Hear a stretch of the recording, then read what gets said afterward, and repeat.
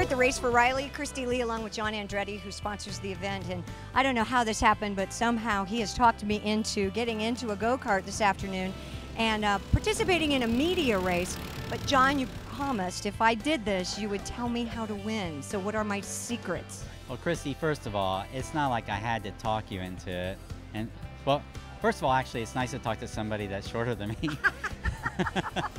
I didn't have to talk you into anything. You, you've asked about being involved in the race because it's for Riley Hospital for Children. You guys do so much, and Tony Stewart comes out and signs autographs, and um, people donate that way.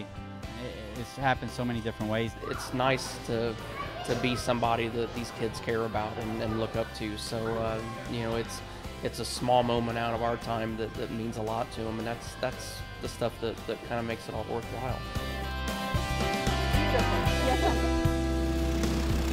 So Greg Hahn is joining us for the actual celebrity race. He missed the practice today, so he's going to come in cold, he feels good about it. I had things to do. It's about who crosses the line first. I don't care about the time. It's about destruction. It's about domination. It's about total annihilation. I'm afraid you're not taking this with the sincerity that the rest of I'm going to destroy everybody on the track. Domination. People can get hurt, Greg. You can get hurt. That's the whole point. People getting hurt.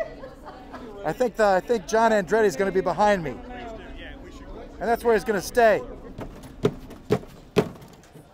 Domination. You're starting seventh. That isn't bad. Oh, not bad.